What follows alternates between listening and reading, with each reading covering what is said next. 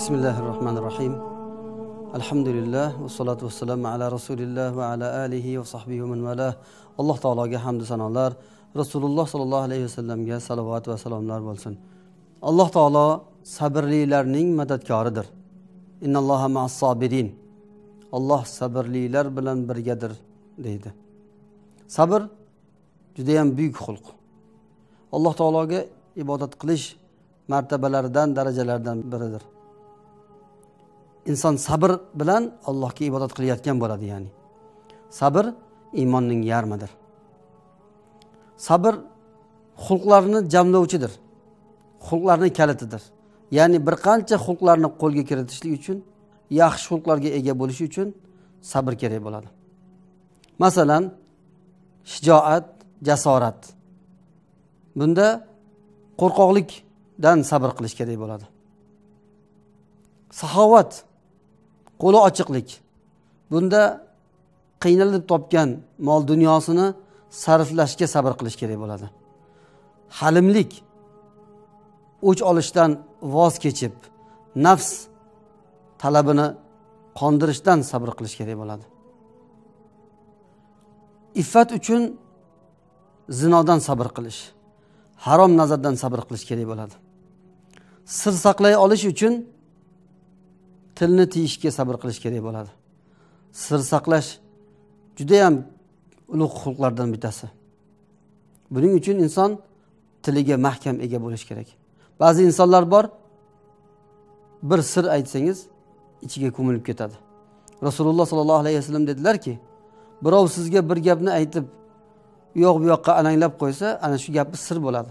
Ya'ni bu gapim sir deb aytishi shart emas. Zohidlik sabr talab qiladi. Zohidlik ya'ni dunyoda keragidan oshiq narsadan keragidan oshiqcha narsadan voz kecha olishlik. Insonda imkoniyat bo'lsa yashamaydigan uylar quradi. Kiyib tugata olmaydigan kiyimlarni jamlaydi. Yeb oxiriga yetkaza olmaydigan taom ozuqalarni to'plab oladi. Zohidlik uchun sabr kerak. Mana shulardan hammasidan o'zini tiya ola bilish kerak. Sabr mavzusini bu bir necha daqiqalar ichida aytib tugatish oson emas. Bu borada alloh taoloning mana bu oyati yetarlidir. Alloh taolo sabrlilar bilan birgadir.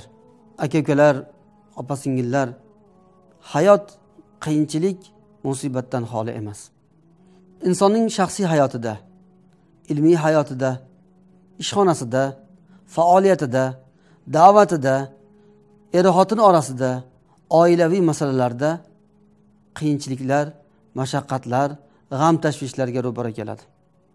Bularning hammasida muammolarni bartaraf qiladigan davosi yo'qmikin deb izlab qoladi. Sabr mana shunday og'riqlar bilan birga yashay olish musibatlar bilan sulh tuza olishdir. Sabr bilan inson ollohning birgaligiga erishadi. Alloh taolo sabrlilar bilan birgadir. Ya'ni sabrlilarga yordam beradi to'g'irlab turadi tavfiq beradi degan ma'nolarda. Inson sabr qila olganida ollohning birgaligini qo'lga kirita olganida musibatlarning alami shiddati insondan ketadi. Musibatlar arishi oson kechadi.